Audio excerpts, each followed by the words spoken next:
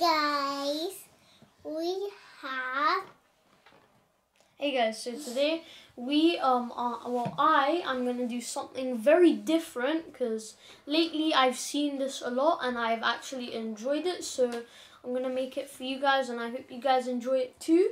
Um, so what we are gonna do in today's video, guys, I'm gonna be showing you seven different ideas to upgrade slash improve your clone army. But before we start, I have to tell you something. On our channel, we don't just do Lego building videos. We do K'Nex building videos, Beyblade videos. We also have another channel called Tube Gaming. So and let's let's start. And guys, also because I love you guys and you guys are amazing, I have made over 1,800 videos. And So I you guys should it. check it out. So yeah, anyways, let's start. So um the first the first little one is if you want to start your Lego Star Wars clone army, instead of just going out and buying like lots of the same ones, the first tip is to get variety. So see, I have a shock trooper, There's a one. and instead of me just going out and buying red. tons of these shock troopers, it's you- red. you can also get a plane trooper or And this is black. Actually, I don't want to show the rest because um, the rest I have right now are the ones for ti- for other tips. You can have 332nds, 501st, shock troopers, other types of troopers. So now for tip two. So Yeah. these troopers seem a bit bland, right? Not really This much detail, red. nothing too special about them. So first tip, so tip number two is that if you guys so tip number two is new weapons. These are nasty. We don't like these. So I mean we kind of do, but we we don't like these too much. We can either get custom ones or brick built ones. Now the first brick built one is my probably my favorite and maybe the only one that I would actually use is this machine gun, guys. It's a very nice machine gun, very easy to build. And in the next video, instead of me showing you ideas, I will make a tutorial on how to improve your clone army. So yep, just a simple machine gun. And also going with weapons, you can also if you if you like the Lego ones, well, why not add some things to it? Like the sniper, add a little muzzle at the end of it to make it like stronger, I guess. And that's pretty much tip number two done. And also, guys, you can get custom ones. Very important. And tip number three, guys, is gonna be accessories, helmet accessories. So, two is that so helmet accessories you can kind of get if you have Lego City guys and Lego Star Wars. If you've seen like the motor motorcycle drivers, you can kind of like put their thing on the new new phase twos or old phase ones. So um yeah, and you can also get normal Lego Star Wars ones and just plop them on. So yeah, that's tip number two, guys. So moving on to tip number three, we have backpacks. So backpacks are very important in Star Wars. So here we have my custom built 332nd backpack because as you know 332nds are white, blue and orange and also has the Republic logo on it as well which is nice. We have that backpack, we can get this backpack with binoculars on it. You can get this backpack which can clip on weapons right here. That backpack can clip on weapons. I'll just put that back on this minifigure.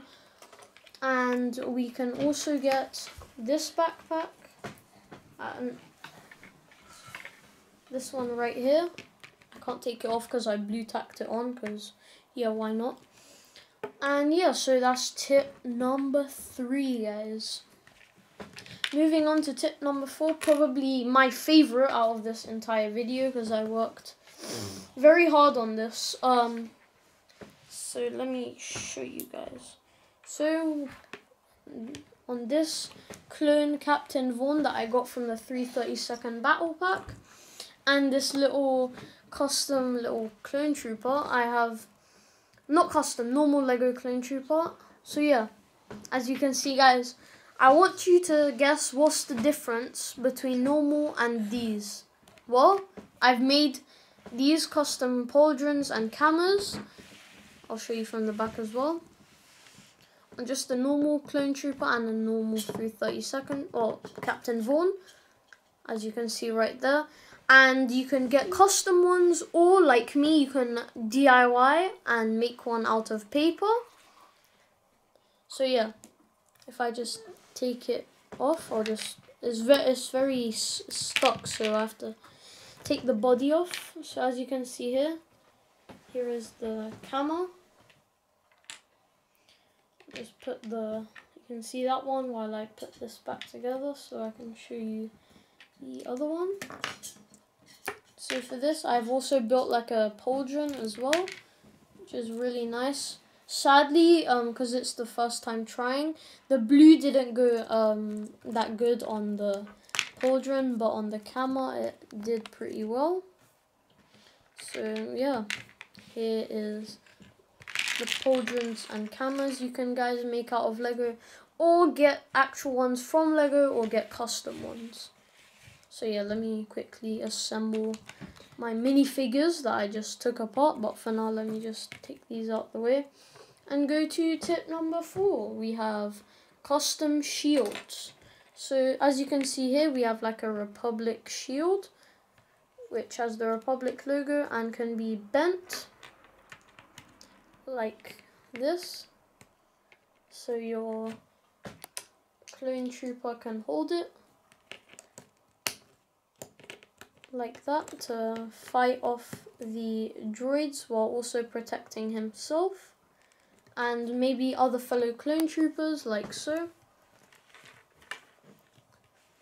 So yeah.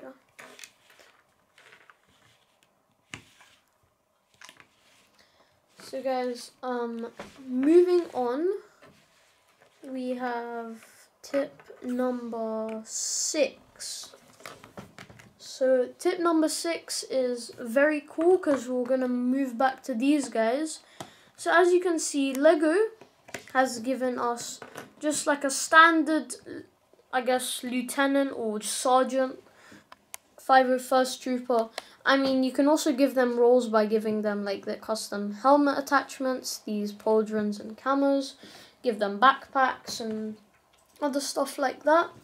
And also, step number seven, we have roles. So this guy, his role is, I guess, lieutenant or general or commander. And Captain Vaughn, well, in his name, he's a captain. He's the main guy of the 332nd, apart from their general, which is the Jedi, we can also get like this guy, the 332nd Jetpack Trooper. That's his role, he's a Jetpack Trooper. As you can see, he has a jetpack at the back. And let me quickly put this back on so I can show you the next one. So then Going back to the 332nd, we have a 332nd um, heavy, heavy gunner, as you can see right here. 332nd heavy gunner.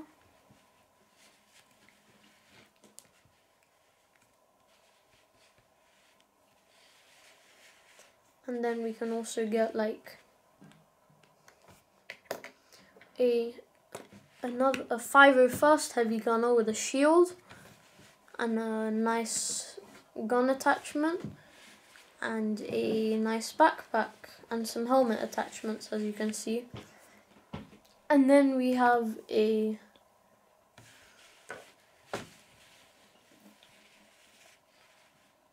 then we have a 501st heavy trooper not a gunner. I mean yeah he heavy heavy trooper. As you can see, he's not a heavy gunner because all he has is a pistol and a sniper and an axe and a binoculars in his hand. So you, I guess you can call him the heavy inventory of the team because he's pretty much stacked with anything. And so, also, I didn't have this prepared. You, another role is like, so I mean, this is the specialist. So this is the specialist, right? Um, but I don't, um, just pretend he's a normal trooper. So say he's a normal trooper, right? Give him like a red arm and then you give him give him a backpack and maybe a few syringes and then you have your clone medic. And yeah, so a quick overview of everything we've said in this video. So yeah, so we have our variety, kamas and pauldrons, our roles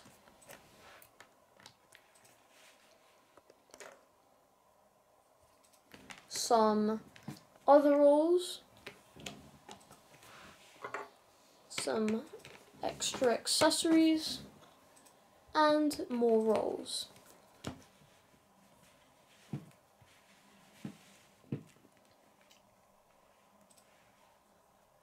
So guys, if you've enjoyed this video, in the next or couple next videos, I will definitely make sure to make a tutorial on these because right now I've only showed you like ideas or things so you guys can get on your imagination and create some like this. But if you're struggling, well, the tutorial will come out soon and you can definitely watch that.